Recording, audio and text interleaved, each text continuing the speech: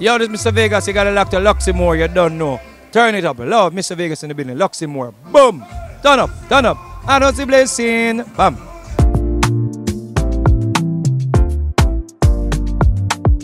Salut à tous, c'est Shorty pour l'Oxymore. Nous sommes toujours au premier jour du Karukira One Love Festival et je suis avec Mr. Vegas. Mr. Vegas, how are you? I'm good, I'm good, I'm good. Good to be in Guadeloupe again.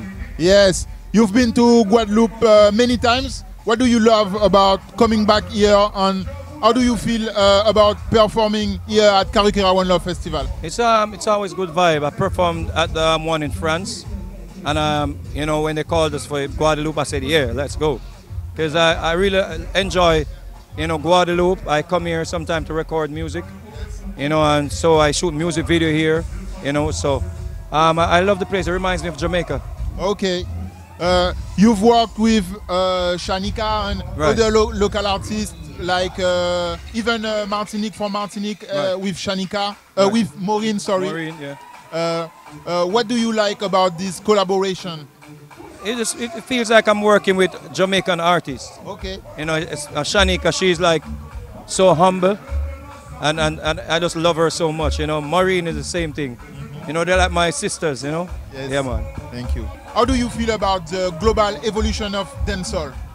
Well, dancehall has been, um, you know, you know, spreading around the world, you know, for a long time, um, with Shabba Rankin, you know, Mad Cobra, uh, Sean Paul, you know, Shaggy, you know. So, um, you know, it's just good that you know we can go all over the world and do dancehall. The people enjoy the music. Yes.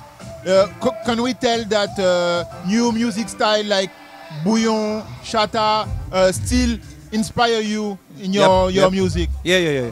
Because when I hear Shatta, it's like I'm listening to dancehall. Yes. Yeah. Um, that's why um, we're working with the, the artists from the French islands so we can incorporate the sound.